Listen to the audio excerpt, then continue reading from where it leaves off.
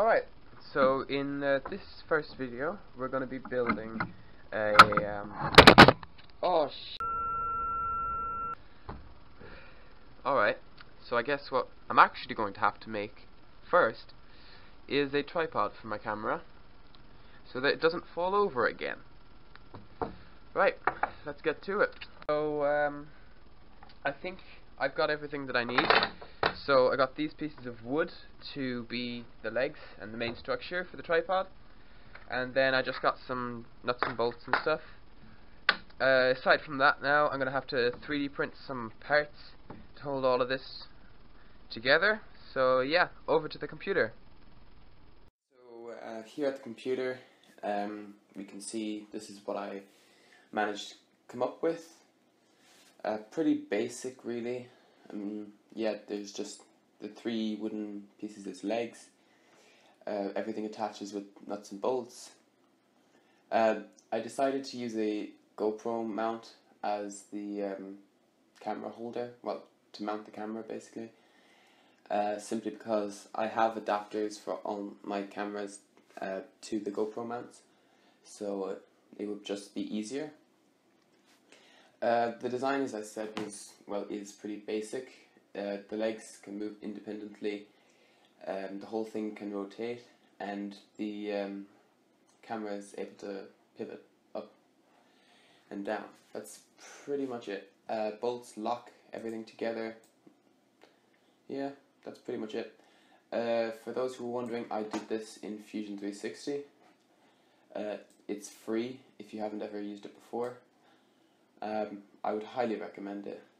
So yeah, let's print it.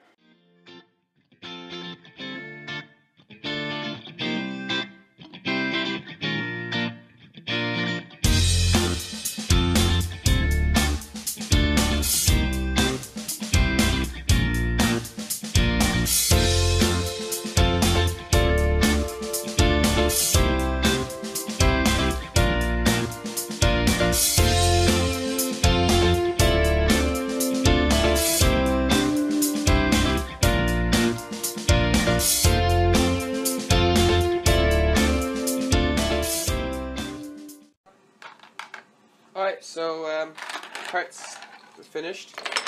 Uh, there's pretty much everything we'll need. So we got the main body, as you saw, the three leg joints, um, part that swivels on the main body, and then this part allows it to tilt and uh, has the GoPro mount. Alright, so I have to uh, cut all of these pieces of wood to the same length. I'm only going to need three as you saw on the computer. So yeah. I'm gonna make them about 30 centimeters long. So let's get to cut.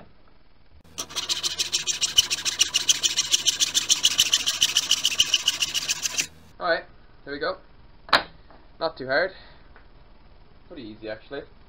Um on to the next bit well, I messed up. So, I didn't measure this, so it serves me right. I thought these were 10 mil by 10 mil. Apparently they're not. They're actually closer to 12. And when I 3D printed these yokes, I printed them 10 mil by 10 mil. So, yeah. Damn. Right, so this is a very unorthodox and um, inaccurate approach to it, but I messed up, so there is no real other option except 3D print the whole thing again, but I'm too lazy to do that. So, just going to cut these down a bit. I shall be here a while. Well, that took a while, and I made a big mess. But, the parts fit. Just about. So, yeah, we can get on with the rest of it. Alright, so I'm just about finished. I'm just tacking these in. Yeah. Um, they did end up fitting, but just not great, and they don't look well. Alright, so now it's finally time to put everything together.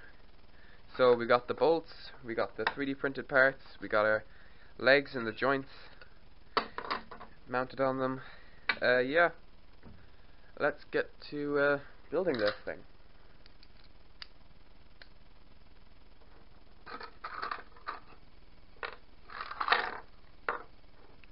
Alright, so this first one, uh, this will go up through there and through that thing.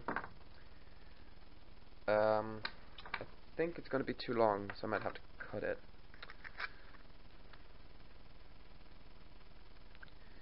Yeah, it's too long. So, I'm going to have to cut this. Alright, so I'll cut that, and then we can get on with building this thing. Again, always measure things. So, um, I cut the bolt. The next thing I have to do is get this nut down into that hole. You can see it there, yeah, in there. Um, so I'm just going to use this really long bolt and uh, kind of just pull it into the hole. So I'm just going to take a while and screw it all the way down to the bottom. So eventually I did get the nut embedded. That took a while and um, needed a bit of persuasion with a hammer, but it eventually got there. So the next thing to do is get these two parts together. right. This just goes through there. This will take a while.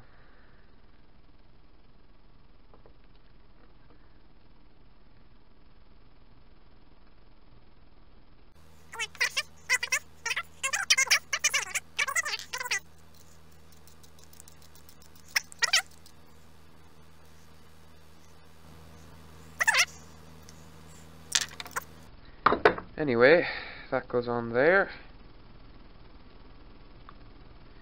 And then you can tighten it to prevent it from um, moving back and forth. This thing gets the bolt that we cut down earlier, goes through the bottom of it, that yoke goes in there, and then you just tighten it down. Spins, and then you can just tighten it further you don't want it to spin, it just gets locked in place. Alright, now the last part is to put these legs on. Uh, they've got holes in that line up with the holes in the main body, and then these screws go through here. Screws, bolts, I don't really care what you want to call them. They all do the same job.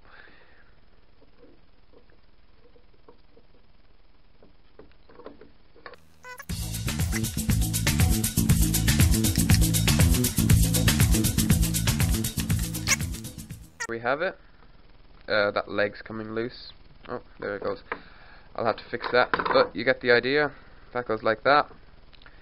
Now, onto the other three. Just loosen that up.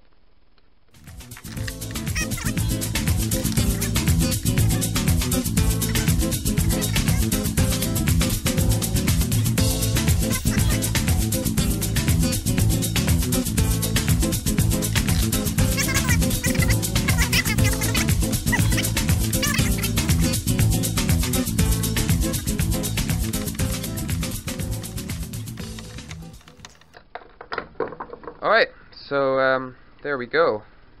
Really? Yeah, I just broke off the other leg. I'm going to try and fix that, but um, that's the general idea. Alright, I'll come back to you when I have those legs finished. It's finished! Um, no. The legs just had to be um, persuaded with a hammer. That was pretty much it. Um, obviously I don't have the camera on the tripod right now. Uh, pretty sturdy. Well, relatively sturdy. The legs don't wobble or anything. You can just tighten it up with the bolts and they all stay in place. Yeah, that's pretty much it. Sorry about the uh, camera shaking. I'm holding it in my hand because I don't have anything else. Uh, that's... yeah. Alright, thanks for watching.